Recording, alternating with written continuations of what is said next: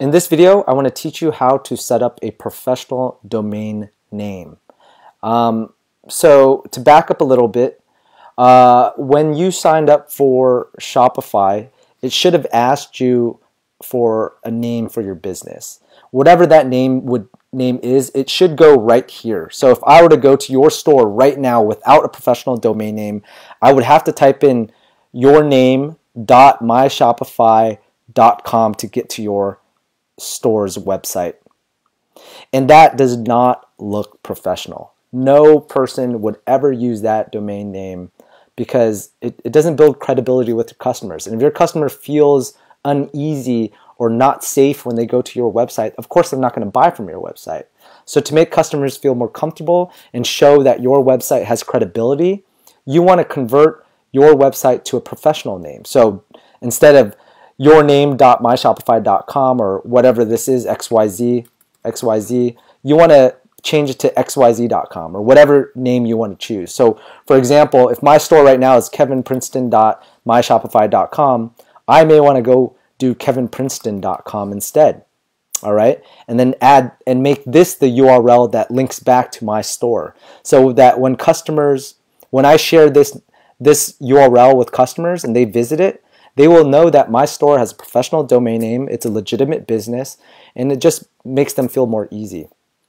Uh, tips always attach a domain to your Shopify store. It is very, very important. increases the likelihood of a customer purchasing from your store. Um, another tip think of when you're thinking of a domain name, shorter is always better. Make sure it's catchy, make sure it's memorable, make sure it applies to your store in some way.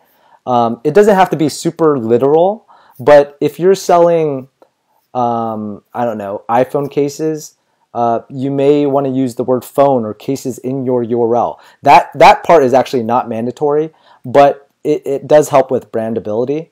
If you're doing, let's say you're starting a fashion brand, like a t-shirt brand, then of course you don't actually have to use the word t-shirts in your domain name. But shorter and catchy names are very important. So I really want you to sit down and think of a name for your store or for your brand, depending on what you're selling, um, that really encompasses encompasses your brand and tells us tells your story.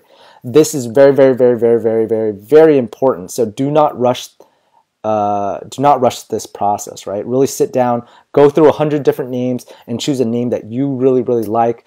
Get ask your friends what they think of this name. Is it a good name? Is it a bad name? Is it too long? Is it too short? Things like that. All right. Um, consider the availability of your domain name on Instagram if you intend on using Instagram in the future for marketing. So let's say my my website, uh, I want to call it XYZ T-shirts because I want to sell t-shirts. Well, I want to check if the word XYZ t-shirts is available on, on, Instagram so later on I can create an Instagram account that also sell that that I can use the username XYZ t-shirts, right? It's just, you know, something to consider when you're choosing a name. You don't have to consider this if you don't intend on using any Instagram marketing. I don't really go over Instagram marketing very much in this course but I usually like to choose usernames that are also available on Instagram. Who knows? Maybe one day you're super, um, you you have a super super successful brand or website, and you want to use Instagram to build your brand. Well, get, well, you should have considered if that username was free or not. I would also avoid hyphens or dashes or .nets. I always stick to .com. At least here in the United States, .com is the way to go. So let's go. Where would you go to search for a username. Go. I recommend GoDaddy.com. G O D A D D Y. Right. G O D A D D Y.com. Um, this is one of the industry standards for purchasing a domain name. They have one of the largest uh, uh, banks of names out there. Okay, so um, let's assume I'm trying to find kevinprinceton.com. Um, or I mean, I don't have to type in Kevin Princeton. I could just type in Kevin.com. I could just type in Kevin Princeton by itself.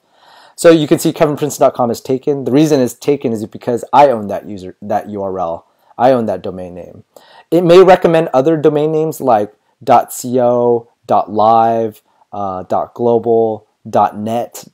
I would not recommend any of these. Um, I think in the UK they use .co.uk. I'm not sure, but I would recommend simpler is better. No hyphens. You see a hyphen right here? Avoid those.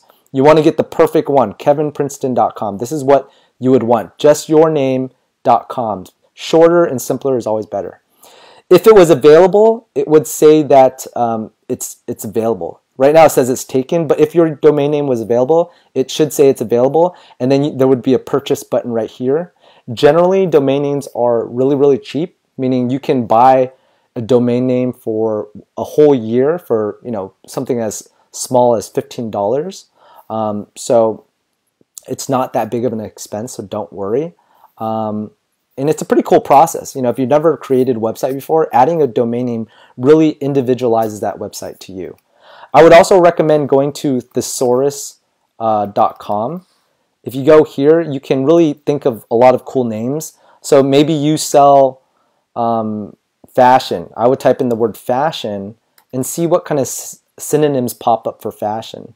Um, okay, maybe that's not a great word, but let's say you sell outdoor gear. Um, like camping gear. I would do outdoors and search that and see what kind of synonyms. It helps you think of really cool names. So outdoors could be environment, you know, country gear, countryside, something about mountains like mountaingear.com. Um, it really depends. Something about wood or plants. It just helps you think of names. So once you figure out your name and you purchased it on GoDaddy.com, uh, what you're going to do next is after you've purchased it and you've owned it, you're going to go to online store right here. Then you're going to click domains at the bottom. And it should bring you to a page that looks like this. Sorry, my internet is slow again. It should bring you to a page that looks like this. So right now, my website is kevinprincetonx.myshopify.com. This is just, this is not a real store. This is my um, example store that I created for you guys. Um, and then if you have a domain name that you bought on GoDaddy, you're going to click connect existing domain, meaning existing meaning you already purchased it. And then you're going to type it in right here, www.kevinprinceton.com, right? And depending on where you purchase your domain name, your Shopify should pick up on where you purchased it. And then you're going to click next. And then what you're going to do, see, it was able to uh, recognize that I, I, purchased my domain from GoDaddy, and then you could connect it by clicking connect automatically, right? And then you would just click this button and go through that process. And then moving forward, your new website and Shopify store would have this as its main URL. So if anyone typed your domain name into their URL search bar, it would bring them to your website. All right, isn't that cool? It's very, very simple. So, you know, Shop, this course is all about simplifying things that may seem more uh, complicated. So setting up a domain name is really, really easy.